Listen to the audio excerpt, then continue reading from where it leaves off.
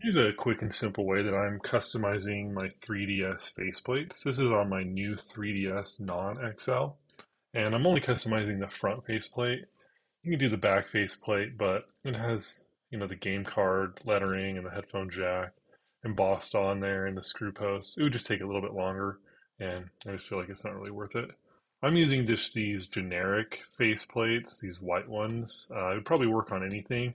The only thing I'd recommend is probably just match the base color of your 3DS as close as you can. It's because you're still going to be able to see some of the edges here, uh, and you just don't want it to like be some weird color that stands out super super big. So uh, basically, I've already done it here on this one. I'm going to actually take this off to demonstrate it. So I'll just remove that. And uh, I'm just using some vinyl wrap. It's made for like cars, but you can use it on anything stuff goes on really easily. Well, let's see.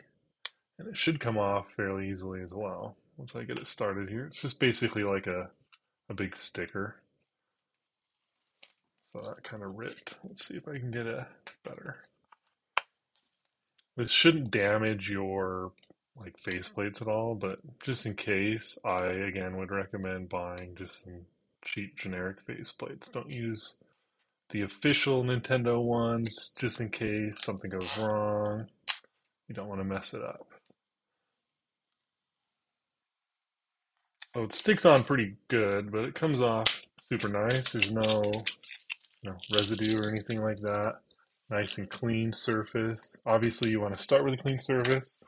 So I've chosen some wrap here that I like. Just kind of this smoke tie-dye kind of design.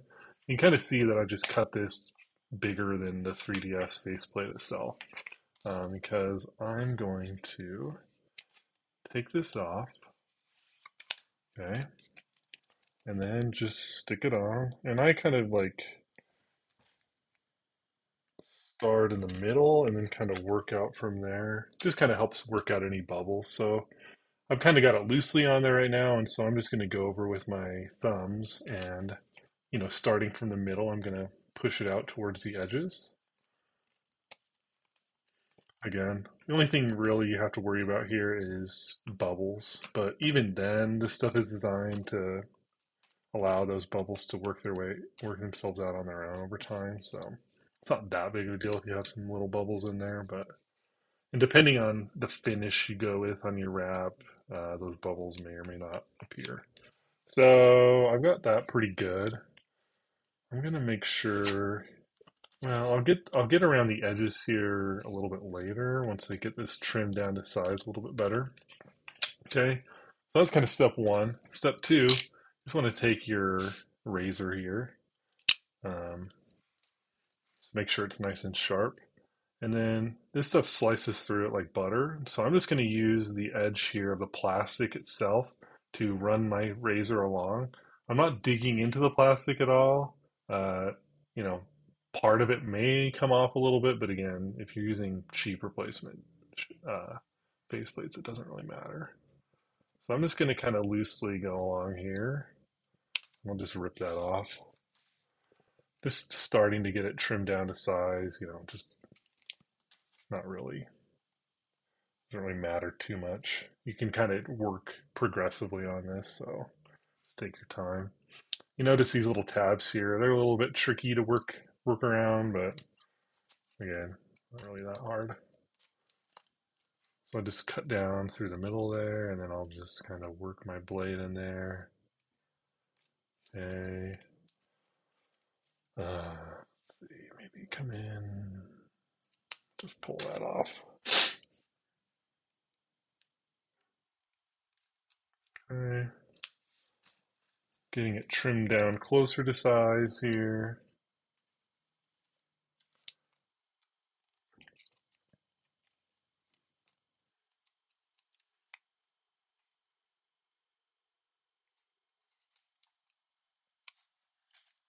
Okay, getting there.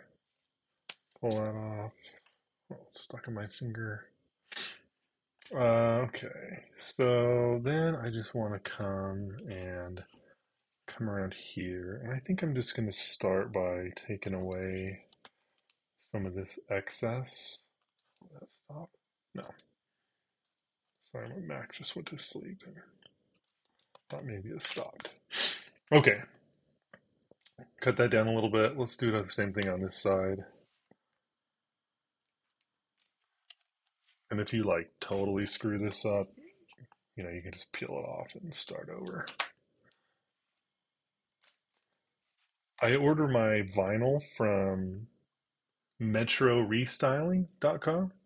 I have no affiliation with them. I've ordered from them a couple of times for some different projects, and they just have a great selection and quality options as well as size options. Uh, you'll probably have to order a lot more than you need for the color you want. They do have some options that come in just like a one foot by one foot sample size or something like that. But I just went and ordered like the minimum size roll for what I needed just because I wanted to have some extra because this stuff comes in handy. So now that I've got it basically cut to size, you can see that looks more or less terrible. Then we can just take our razor and I'm just going to, again, use that as a guide run it along finely. I'm not using any pressure here. Just kind of sliding it along. If your blade is nice and sharp, you know, I'd maybe even recommend starting with a new razor since they're cheap enough. Let's get that out of there. Let's see if I can get around the uh, little tab here. Okay. Uh, so a lot of the a lot of the time you're going to spend on just kind of the finishing touches here. So you know we're like 90% of the way there, but it takes a while to get it perfect. Okay, now let's, I'm going to go with my finger here on this curved edge and just make sure that that's nice and wrapped around. Again, I'm Trying to get a good angle on this for you.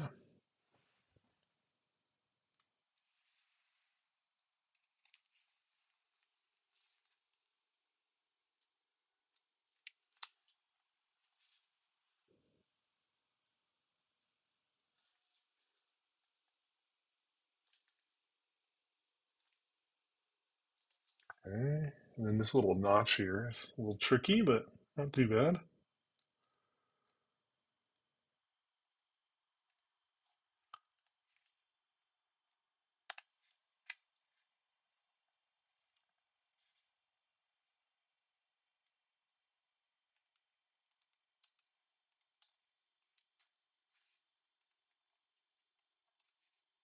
Get that off. Yeah, looks looking pretty good. Get around here a little bit better.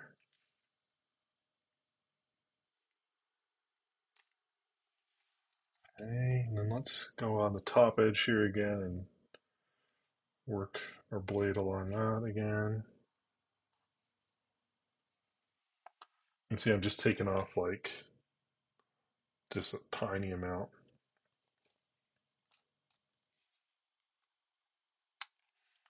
The vinyl wrap I find is pretty forgiving to work with. It doesn't rip or tear super easily.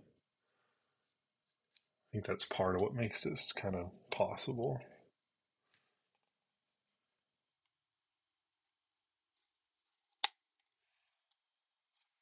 Really, the only goal here is you just want to make sure that you have a more or less straight cut along.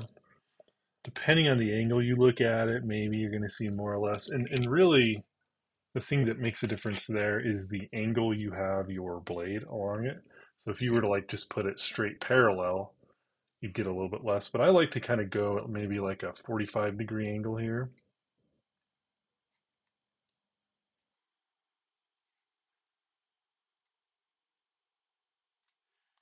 Okay, just cleaning that up. It's pretty good there. Let's clean up this side.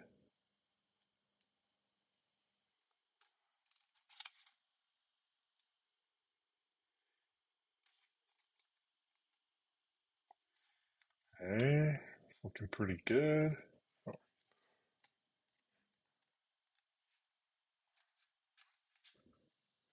my hands. All right. We got that edge done. Now let's work on this side.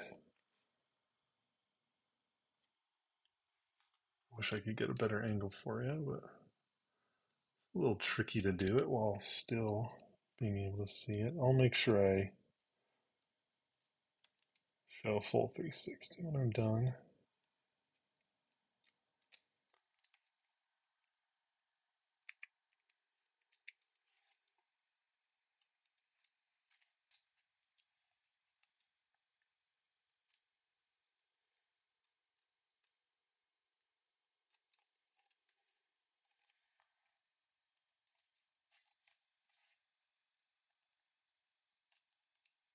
Oh, see, I nicked it there on the corner. Okay.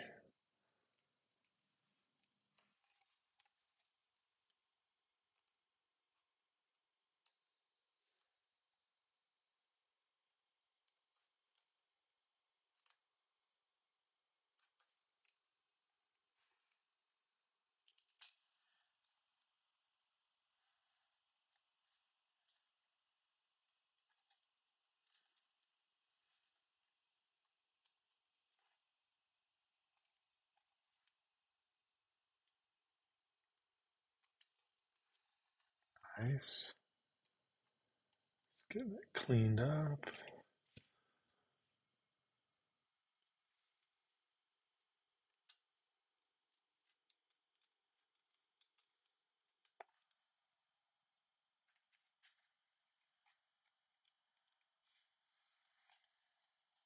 Let's get around these tabs.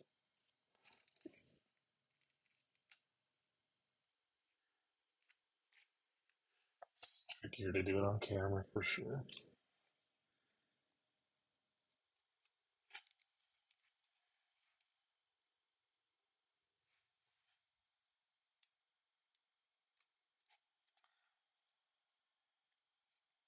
Okay. I'm liking that. Looks like maybe here on this corner I could take a little bit more off.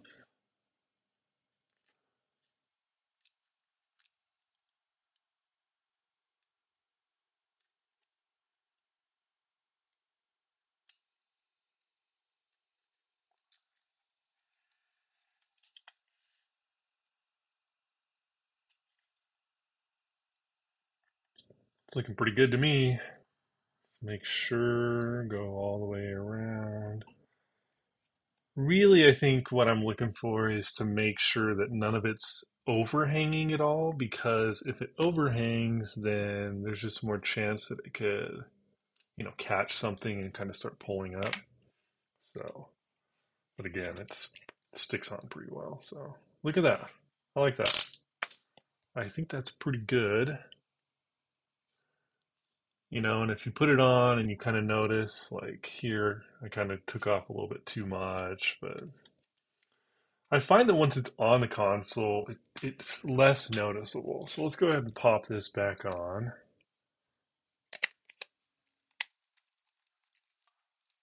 Nice. So there you go.